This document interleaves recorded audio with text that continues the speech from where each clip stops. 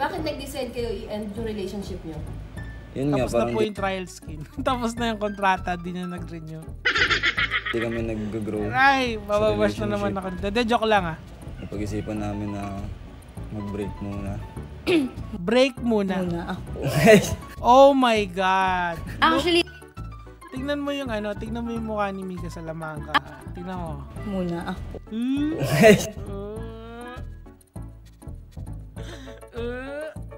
tingnan mo, pare oh.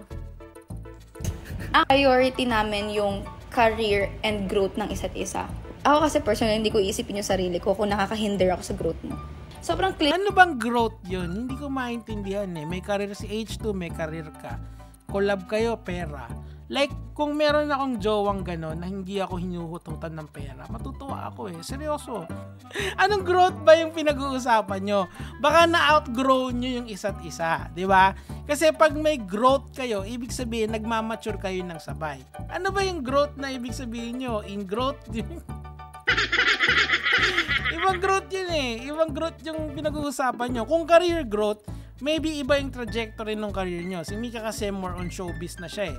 Magaling kumanta. So, nandoon siya. Si H2 naman, gamer siya. So, iba, iba kayo ng career trajectory. Parang ako, ano, YouTuber. Yung kinakasama ko, Walker. Joke lang. cliche and baka sabihin nyo sobrang babaw.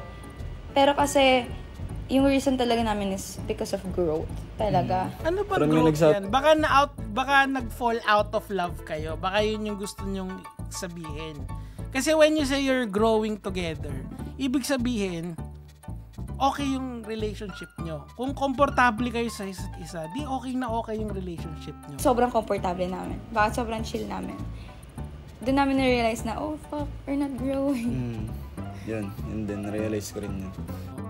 there there is an ironic thing na kasi pag kasi ang masakit dito yung mga fans nila mga bata pa magsisimula din sa relationship nila na in a relationship ilagyan natin ng edad 19 years old tsaka 21 years old na okay na okay sila sa sa- isa komportable sila baka isipin nila na hindi to normal actually yun nga yung normal eh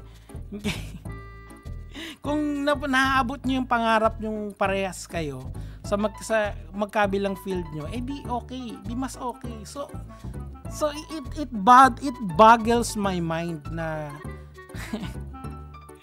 may, may nag-grow kayo parehas kaso maghihiwalay kayo kasi nag-grow kayo parehas.